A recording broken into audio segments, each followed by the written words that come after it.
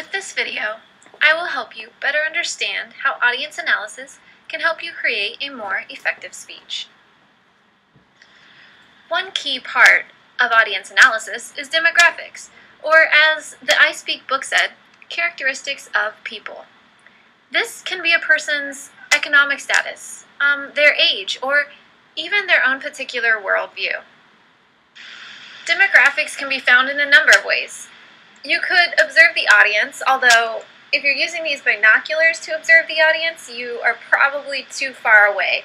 You want to make sure that you're observing, um, not stalking. Stalking is never good.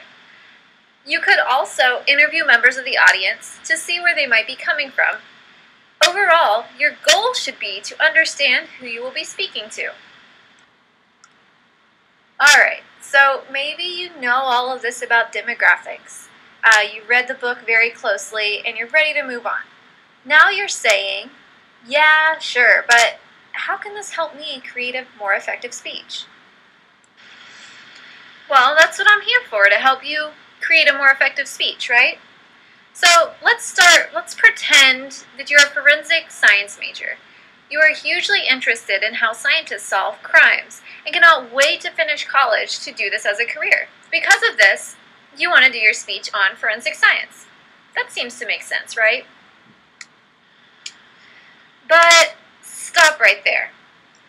This topic is very broad, so maybe you should consider your audience to help you narrow it down a bit.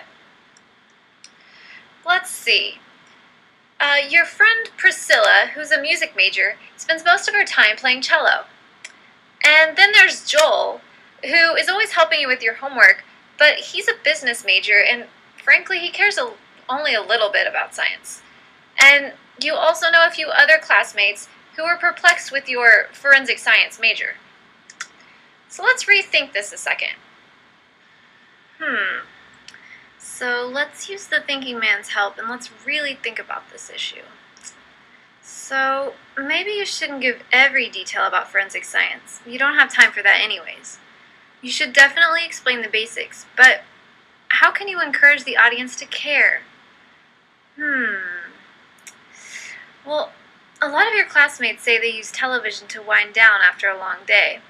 And Priscilla did mention that she watches crime shows, and other students seemed at least familiar with them when she brought them up.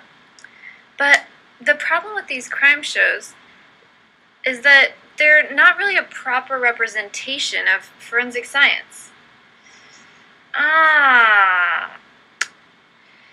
You can compare and contrast forensic science on TV to real life. This will allow you to talk about what you'd like, but also give the audience something they will want to hear more about.